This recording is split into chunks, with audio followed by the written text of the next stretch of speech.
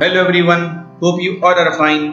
Today on behalf of CCTV Desk, we come up with new video.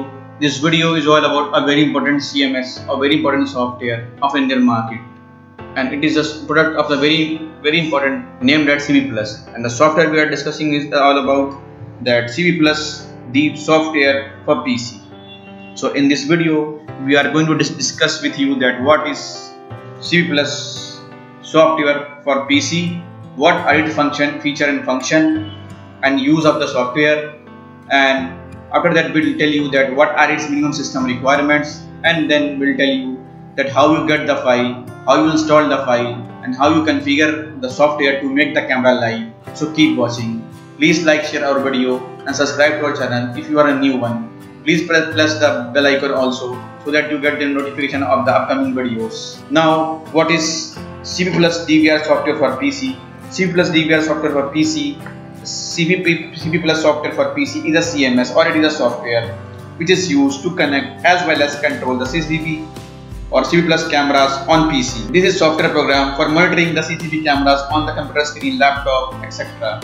It is also used to monitor the cameras on remote location over the internet. Now, if we are talking about its feature and functions and use of the software, you can see or you can access the live video, live view of the cameras or you can see the multiple channel at a time CP plus and DVR. You can watch the recording of the cameras, you can take snapshot of the videos, you can control the PTZ camera like pan, tilt and zoom, whatever you want to access. You can save the live view of the camera you can you can adjust the image parameters such as mm, such as like brightness color etc you can take the backup of the recorded videos. You can adjust the video streaming according to network bandwidth. You can control the quality of the video recording and many more. Now we are talking about the minimum system requirement. Then you should have at least windows 8 10 11 or even 7 but i don't recommend Windows 7 because it is discontinued by Microsoft. Now you should have at least 4 GB of RAM and have Core i5 processor or equivalent processor in other companies. Now the most important thing the hard disk space.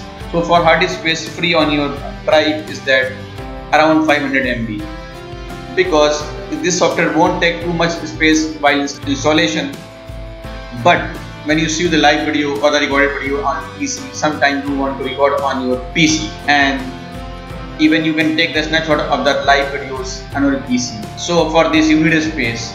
So for this, for smooth running of the software, you should have at least 500 MB of the free space on the hard drive. And now we'll tell you that how you get the file, how you install the file, how you configure the software to make the camera live. Once you are successfully configured or successfully connected with your device, then you are able to access all the features that we are discussing earlier in this video. So keep watching.